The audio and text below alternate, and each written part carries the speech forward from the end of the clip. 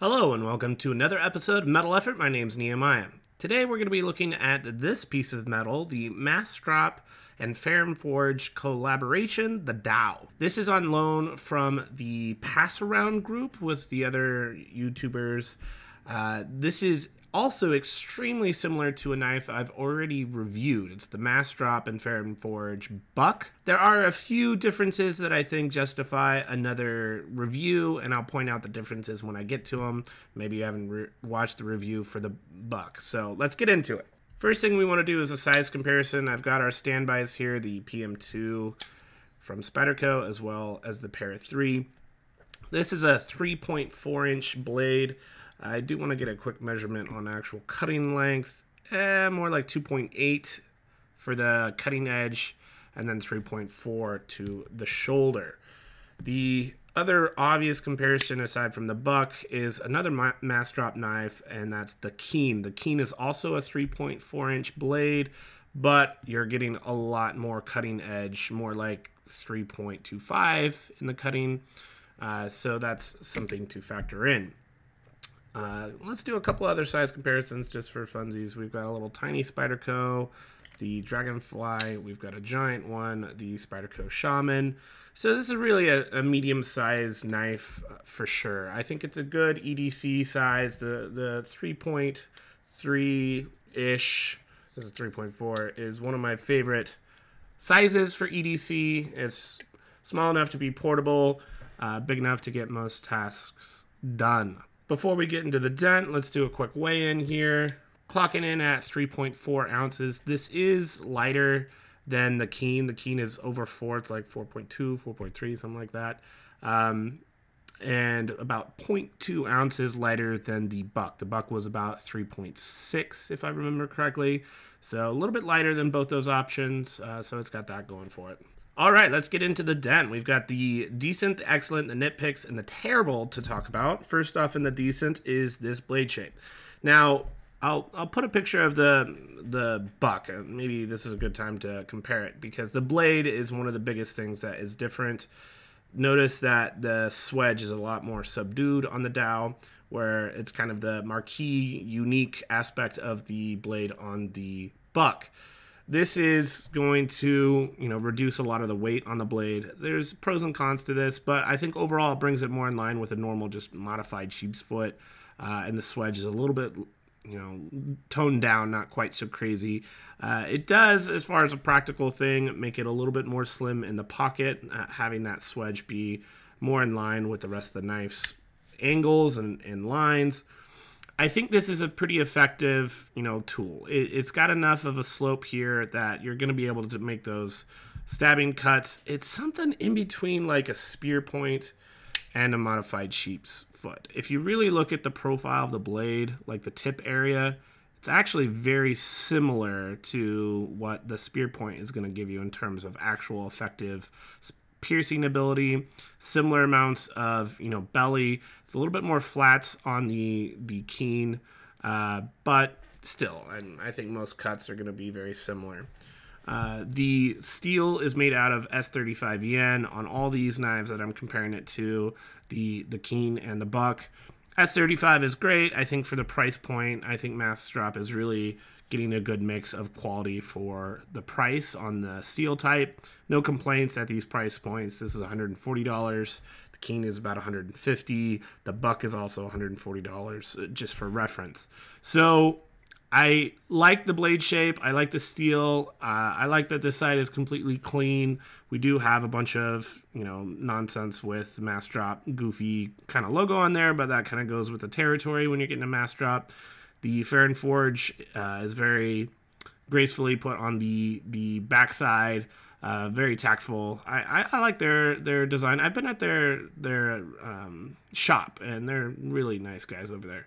Uh, so I think the blade overall uh, deserves its spot in the decent for sure. Next thing we'll talk about is the jimping, both on the spine of the knife as well as the backspacer. I was really a fan of the jimping on the Buc, and this is pretty much making a return. Uh, in fact, when I got this, there was a bunch of human remains here from all the other knife viewers, so I try to clean that out a bit. Uh, it's definitely gripping our our skin. Uh, so there's good evidence of that, and it and it sits right exactly where you would want it to in either grip, the saber grip or the choked up grip. Your thumb pretty much wants to go right there. I don't think it's really wanting to go this far up. Uh, and the angle of the knife blade is is really receptive to your thumb just landing right there. On the backspacer, backspacer covers about 50% of the back spacing. Uh, the ridge does not come up, so you cannot see the jimping from the side. It's pretty well sunken in. So as far as like giving your your hand grip when you're opening the knife, it's not really doing much. I think it's more aesthetic than anything else, but it definitely isn't offensive in any way. So uh, backspacer is nice. It's classy, protects you where it needs to. Uh, there's no issue of the, the blade coming too close to the back, so it's not like it needs to be a full back spacer. It's totally competent, and I'm totally fine with that. For the clip, I I'll be talking more about this later, but as far as the actual clip itself, it's very competent. It's got some spring. It has a good slope. It's chamfered in all the right places. Uh, there's nothing egregious in the ergonomics part of it. It's not poking you, no hot spots. So I, think the actual clip itself deserves its spot in the decent. I'll talk more about some other things that kind of are consideration with it, but we'll we'll hang on for that. On Massdrop, it says that this is reversible, so I don't exactly know how that plays. I think it's this screw and this hole right here is what's giving you that option to do reversible. I, I guess you take this screw out, flip it over onto this side, take this long screw, flip it over there, I'm imagining. So it doesn't exactly look like it's reversible at first glance, but it actually is, which is kind of cool. One thing I like is there is no lanyard hole, which is awesome. Uh, I'm not a big fan of lanyard holes. I, I've if it gets done correctly, then I'm not offended if it's there. It's not like actively want all knives to not have them. Um, it's just I don't know something that I'm not into. I know there are people out there that are, are definitely in favor of lanyard hole you might want to look for the Buc on on this one. Uh, even the Keen does have a lanyard hole, uh, so you might want to look at either of those options if you're really dead set on that. But for me, it's in the decent because I don't like them and it cleans up the look of the knife. There is a steel insert here with over travel stop, so all the niceties of a titanium frame lock flipper are here. Uh, which is really impressive for the price that this knife, you know, is coming in at. Having these kind of features are not something that's a given. Stuff like the Spidey Chef, you could have put, you know, uh, LC200N steel insert in there. Um, one of my viewers pointed that out, and I remember thinking that, and I never said that, and and just seeing it on something that's so inexpensive as this, you know, maybe maybe it isn't too much to ask for for knife companies to really do that. Um, I don't think it's something that you absolutely have to have. I think it's not like the knife is going to fail if you don't have a steel insert, but it's also not bad that there's a steel insert. So I'm going to call it out as a positive here. Fit and finish on this thing is pretty good. It's centered, uh, tight tolerances as far as like no gaps or anything like that. Uh, the grind, as far as I can tell, is done correctly. It's not uneven. I if I actually sharpened this knife, I think I would really, you know, reveal any kind of inconsistencies there just because, you know, that stuff kind of becomes evident when you're starting to mirror polish an edge. But obviously I'm not going to do that on the pass around knife. As far as I can tell, it's pretty good though. So no complaints in the fit and finish department. I think they did a pretty good job. The anno work is good. Uh, all the milling is good as far as like imperfections are concerned. I didn't couldn't find any. Last thing we'll do in the de- decent is the OCD, the open, the close, the disengage. And I'm putting it in the decent because none of it is like blowing my mind in terms of action goes. Uh, maybe one uh, one of those aspects could could get it there, but I think overall the experience is definitely decent, above average, let's say. So let's get through it. So you've got the open, you have the opening aperture, which is a very good experience. I think this part alone, you know, puts it in the decent section just from the opening. The detent is pretty strong, but not too strong. There's a little bit of a shelf. It kind of flares out a little bit here on the opening aperture. So it's really easy for you to get the meat of your finger into that and have the, the horsepower to whip it out. And it's very snappy. Uh, it's, you know, acoustically pleasing. Uh, 100% deployment, haven't had a single issue with the opening aperture. There's some negatives uh, with the flipper tab that I'll save for the nitpicks, but overall, you know, we could just imagine that this didn't have a flipper tab, like a you know, like a Spyderco. I'm not I'm not taking any points off for it not having a flipper tab in addition to the opening aperture. So if they can get that down uh, as well as they have, then overall that that earns its spot in the decent. For the disengage, it's that steel insert is very minimal lock stick. Uh, it's pretty quick and easy to get in there. Uh, ample grooves here, so it's easy to come in both vertically or horizontally to get in there and get some purchase on that. It's kind of a nice big uh, wide angle uh, chamfer on the inside here, so it's very easy to get in there. It's not pinching you, it's not poking you, very easy to disengage. The detent ball gets onto the tang of the blade pretty quickly. Uh, there's a very small little click there, but the placement of the detent ball means that as soon as you start that action, the detent ball gets on the tang of the blade pretty much right away. Uh, so not an issue. I don't think it, it needs like you know crazy intention in, in terms of like a detent ball ramp or anything like that. Whatever they've done here works really well. On the close, this is not it, it's not bad at all. I think the Buc was much better. I was really high on the close on that. A lot of that had to do with this extra hump on the swedge of the Buc. Just added a lot more mass, especially far away from the pivot. So you had a lot of like just you know leverage, kind of weight wise pulling the blade down. Here you don't have that much weight, and so it, it's a couple jostles, but it's smooth. This is WE action, you know, it's made by WE, and it, it's a good feeling. It it doesn't need to be guillotine shut by any means. I'm perfectly happy with this action on the close. Not as good as the Buc, not as good as the keen. The keen's open is better. The detent is more tuned in. I'd say disengaging is actually better on the Dao. Uh, this needed to kind of groove in here a little bit on the keen to give me better access to get into there. So I think both the open and the, the close is better on the, the keen. The disengage is better on the Dao. Um, so there you go, as far as comparisons go. Now let's get into the excellent. I've got two excellent things. I think the ergonomics on this knife are actually good enough to go into the, the excellent. I think the reason I'm, I'm willing to say this I have medium sized hands, by the way, is that, you know, even on the Saber grip, I've got some room left over. So I think people with big hands are still going to be pretty comfortable on the Saber grip. Obviously, having the option to choke up into the finger choil. I think there's also enough room here that as long as you don't have gigantic sausage fingers, you'll be able to get into the finger choil pretty comfortably.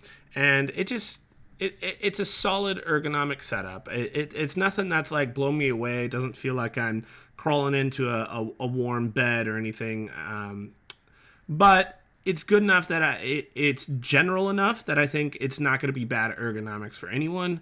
Uh, it looks a little bit squared off, but it's so thin and narrow that it actually it's it's not really prone to any hot spots or poking you anywhere.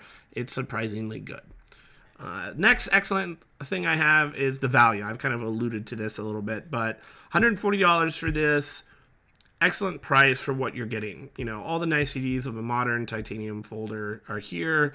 You've got good S35 VN steel, you have great action on bearings, you have, you know, a solid titanium frame, steel insert, uh, over travel stop, every everything that you would expect to be on a on a good, you know, modern folder these days is making an appearance here, and I think it's an excellent price for what you're getting. Now let's move into the nitpicks. First, first thing, I'm not like a huge fan of the machine work. This is their like circuitry kind of pattern that they've got on here. They have a couple others like a saber type.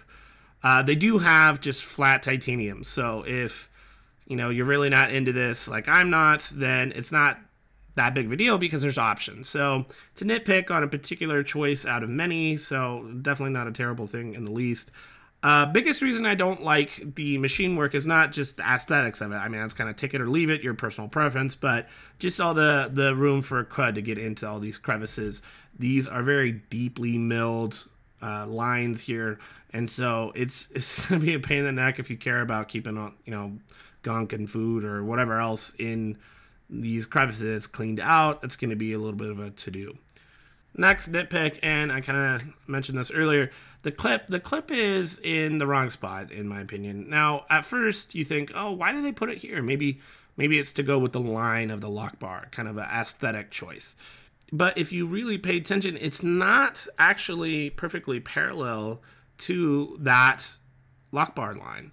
So I don't I don't know exactly what the logic is behind having it precisely here. I think it might have something to do with the screws going into the back spacer, and that's where they have room for it. Maybe. But I definitely know that it's physically possible to just move the clip to the top of the little convergence point right here. Uh, it's not a deep carry clip to start with, which is okay, but if this was, you know, moved all the way up here, that's totally fine. That's totally fine. Um, it just doesn't make sense because you're you're not having to make room for the lanyard hole like you were on the Buc. So this is your perfect opportunity to say, hey, you know, this doesn't have the lanyard hole, but you get the benefit of having a deeper carry pocket clip. And I think that's just kind of a, a missed opportunity. Uh, clip is still fine. It's not like the biggest knife sticking out of your pocket, but it could have been much better than what it ended up being. And I don't think it would have been too much of an issue as far as like machine work, but I could be wrong. I'm not a knife manufacturer or maker. In the terrible, I've got one thing, and and this was something that I mentioned on the Buc in the nitpicks. I think it's a little bit more egregious on the Dao, so I'm I'm promoting it to terrible. Uh, the flipper tab on this knife is comically a joke. Now, this this terrible point I'm making is in the context of it's not your only way to open the knife. So if you just ignore that it's there or imagine that it's only for a finger guard or something, it, the the floor is very high on this problem. Uh, so it, you know, take that with a grain of salt. But the actual flipper tab itself is bleh. It, it's I think it's smaller than what was on the Buc. It's hard to tell because I don't have the Buc with me anymore, but it slopes down, it's extremely small, and just the detent is strong enough that your finger wants to slide off. And there's a lot of very sharp jimping because I think if this wasn't jimped, it would just be like a non-functioning flipper tab. It, you'd maybe have 50% luck of opening the, the knife with it. And what happens is you can see on the tip of my finger, it's just been rubbing it raw every time I try to attempt the flipper tab those jimps end up just being worse because it's just scraping skin off of my finger. Uh, I'm not a I'm not a big fan of this flipper tab at all. It's kind of sharp in the pocket. It's a pocket pecker, and I, I think they should just either take it off or completely change the geometry. I know why they're tempted to make it this kind of pointy shape so that it has the grooves of being the finger guard and kind of splitting the difference of both of these crevices, but you know, if this is flat right here, it's not going to affect the ergonomics that much. I'm not, you know, up here with my finger. It's back here. I'm going to go into the bottom of this, you know, finger groove. And so I think they could make that finger, uh, the flipper flat, and then I would have a lot more purchase on being able to light switch this thing. As it stands, you cannot do push button at all. You have to do light switch, and it's very awkward. If you move up so it's not so painful on the tip of your finger, then it's a lot harder to get the actual, you know, action and speed that you need to rocket it out. So you can do it, it's just going to hurt your finger every time. Again, you have the opening aperture. It's not the end of the world. It's just that aspect, that flipper tab on its own is terrible. All right, let's talk about the conclusion. This is this is a very similar knife to the Buc and I think I'm going to be able to give it a recommendation. It's basically do you want you know a more normal blade shape compared to the Buc? Or you know do you want the look without the the lanyard hole? Uh, you know this is the lightest of the three options. Maybe you know weight is a major contributing factor. So i think there's you know subtle differences between the Buc and the keen that could kind of help you make your decision. I think overall my favorite of the three is still going to be the keen but that doesn't take my recommendation away from the Buc or from the Dao. I think they're both competent knives and earn, you know, their their place as an option for you. I hope this was helpful to you. I'll see you in the next video. Have a good one. Bye.